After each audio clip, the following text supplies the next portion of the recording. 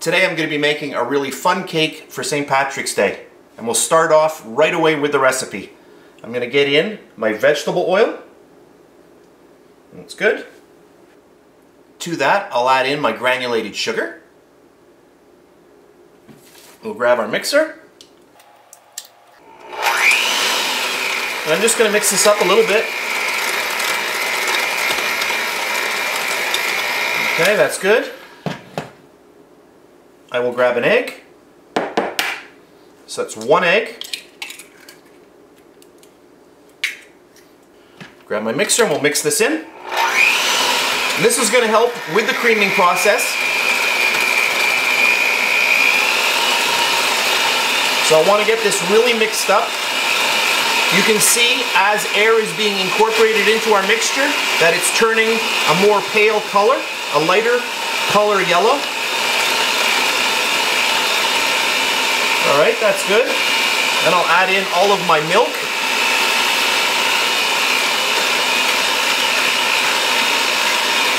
a little bit of vanilla. That's pure vanilla extract. And then I'll sift in our dry ingredients. So I'll add in my all-purpose flour, my baking powder, and my little bit of salt. We'll just sift that in there. And then just push the rest through with your fingers. Perfect. Grab my mixer one more time and we'll mix this up. And I do have my oven set to 350 degrees Fahrenheit. Okay, that's perfect.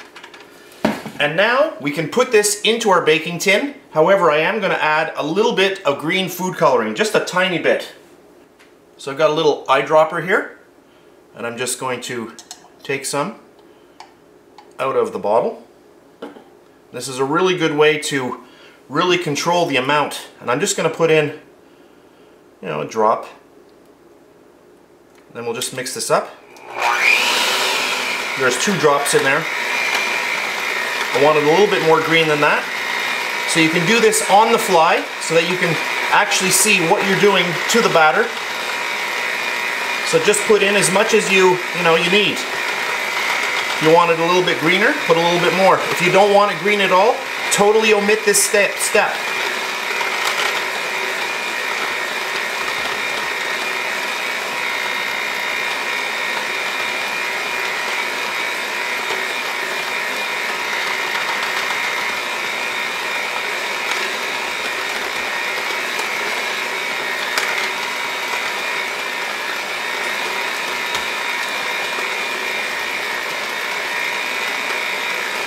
I think that looks good like that. So as soon as it's combined, that's it, and we are ready to fill our baking pan. For our next step, I have a little baking tin here. This is six inches in diameter by two inches high. And that is a Wilton tin, by the way. I'm just gonna get all of my batter in there.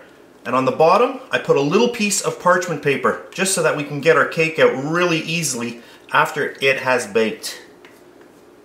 So we want to get all of this goodness into our baking tin. That's perfect. I'm going to put this onto a little pizza tray here. And now I'm going to pop this into my oven, 350 degrees Fahrenheit for about 30 minutes. Alright, here's my beautiful cake. And I baked it for a total of 30 minutes at 350 degrees Fahrenheit. At this point, it's extremely hot. I'm going to let it sit for about 15 minutes and then I'll unmold it. Alright, so I'm back. My cake has cooled down and around 15 minutes after it came out of the oven, I grabbed my spatula and I just went all the way around really gently and the cake just popped out really nicely because of that parchment paper that was on the bottom. And now I can just gently peel that right off. And there we have our beautiful cake. So let's look at our cake. So we've got the nice flat bottom and you notice that the top is curved. And you can ice up your cake with the curve, but I like to take the top off. So I've got a serrated knife here, and I'm just going to estimate, I don't want to take too much off, but that's about right. And then I will just gently saw through my cake and get this portion off. And now you could take this portion here and turn that into little cake pops. Or you could just cut that into slices and uh, have it as a nice little treat. And there you can see our nice green going on, really, really nice. So that's the next step. All right, and then I'll just cut right through this, and then we'll just gently lift that off because I do want to get a little bit of layer of icing on there as well. So I'm going to clean up now, and then I'll be back. I thought today I would show a different way to ice a cake. I have a six inch cake ring here, and this fits right over the cake. I'll just lift this up so you can see it. And what I want to do now is I want to trim my cake a little bit so that it fits a little bit better in here. I want to get some beautiful buttercream icing around the side of the ring. So when I put that on there, you can see right now, I won't be able to get a lot in between the cake and the ring. So I do want to have a little bit of area where I can do that. So I'm going to lift this off and we're just going to trim this down a little bit. So I'm just going to take off the little edges. And this does not have to be accurate. So I'm just going around. And again, all of these little pieces here, you can combine those with the top of the cake, mix them all together with a little bit of frosting, and you can make cake pops. Okay, and then we'll try our ring. And there, I'm happy with that. So let me just tilt this up a little bit so you can see it. And you can see now we're going to get a nice bit of frosting in there. Let me just hold this for a second and that's so you can see. Perfect.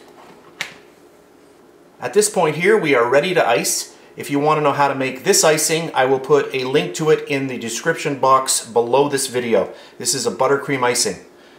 So I'm going to get this into a piping bag and then we're going to start.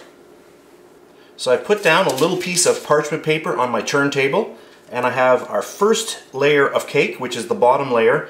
I'm going to take my cake ring now and place that on here. And I have a little piece of acetate, little piece of plastic here, and I'm going to put this inside the ring. If you cannot find acetate, then you can use pieces of parchment paper. I have pieces here cut out. I'll just show you how those fit in. And I made these earlier. So you can see, you can line those in there like this as well. Okay, but for today, I'm just going to be using the plastic. So I'm going to get that nicely lined up. You want to make sure that your cake is centered. That looks good. I've got my buttercream icing ready to go. And now I'm just going to start icing all the way around the cake. So I'm going to get down. And this really, really makes this easy when you're using a piping bag. So I just want to squeeze, get right down in there.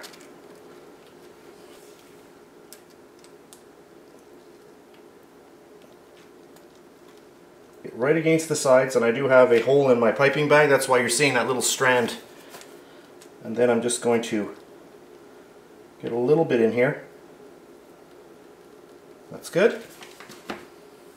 We'll grab our top layer of cake and just get that in there. And then just give it a little push. I want the cake to be lower than the actual cake ring. And to test that out, you can take a large spatula and just place it on top and then you can see any of the areas that are high. And then we'll just fill the rest of the ring with our beautiful buttercream.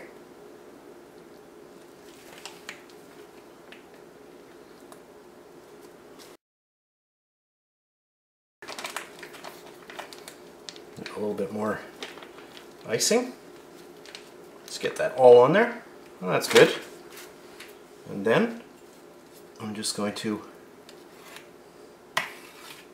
push all of that buttercream all over the place.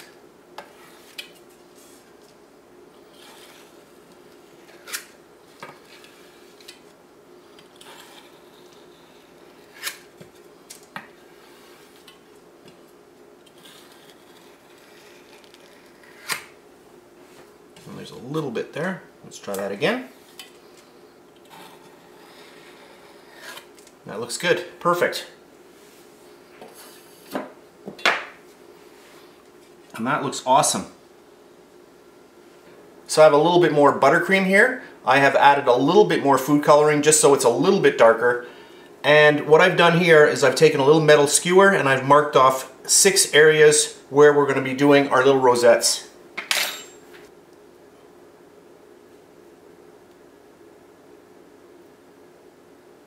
That's good.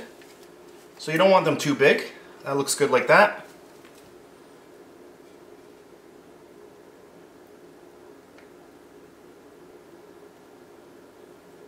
And there we go. Perfect. And as a last little addition, I'm going to use some little shamrocks that I made using a chocolate mold. We'll just grab our little shamrocks and I'm just going to get them on like that. I'm going to have them all pointing outward. You just want to give them a little push. I'll just get it on like that. Just a little push just to lock it in there. And that makes a nice little finishing touch.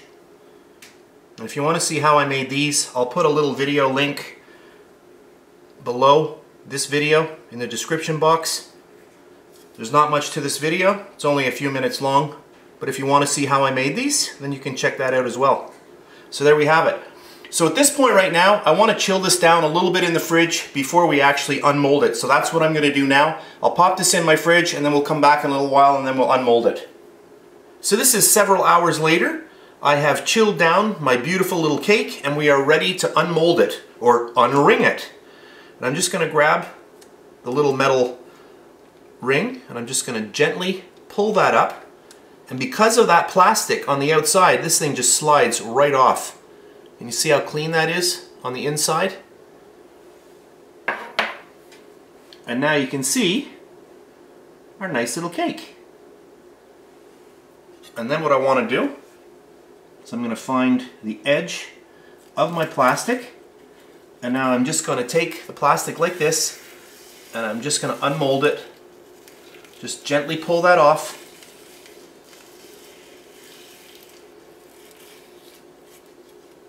And there we have it.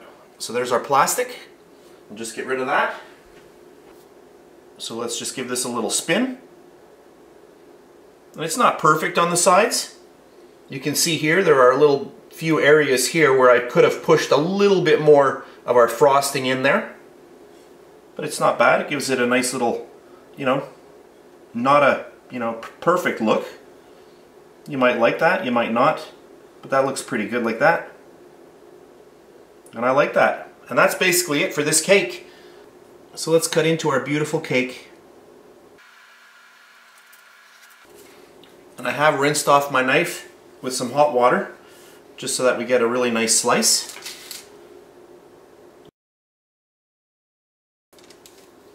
And look at that.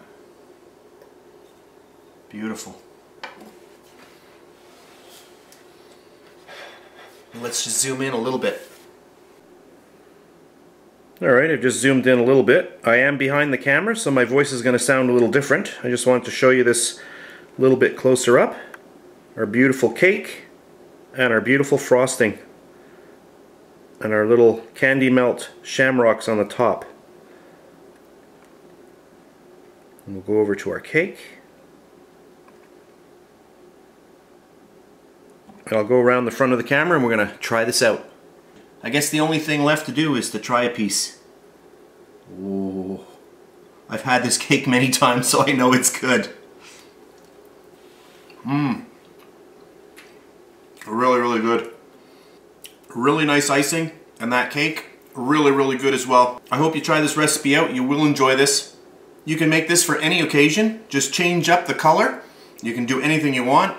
Do a nice pink, you can do an orange, you could do something different colors for Easter, any time of the year. Oh, this is so good. Mmm. So that's it for this video. I hope you enjoyed it. If you did, please give me a thumbs up. Subscribe if you wish. That's it for today, and I'll see you next time.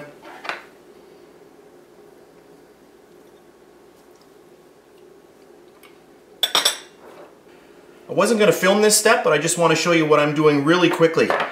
I've taken a piece of parchment paper and I have a cake ring here, which is the same size as our actual cake. And I'll just show you that. So put that on there. You can see that it's basically the same size.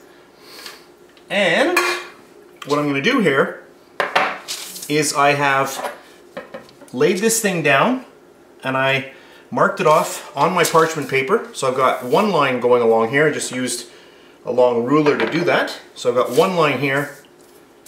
I placed it down like this, and then I marked off the other side. So I've got a marking here, then I put it down here, and I took another marking here. So now I'm simply going to draw between the two lines. And now I'm just going to draw a line. Perfect. And now I'm going to cut this piece out. So I'm going to grab my scissors and I'll start cutting this out. So I'll whip through this and I'll come back in a second. And at this point you're kind of wondering, well what am I going to be doing with this? Well I'm going to show you in a second. Usually I use acetate to do this, but since you will not have that at home, this is the way to go. So I'm going to cut this out and I'll be back in a second. Perfect. So now we have a nice straight piece of parchment. And this here is going to go inside our little ring here.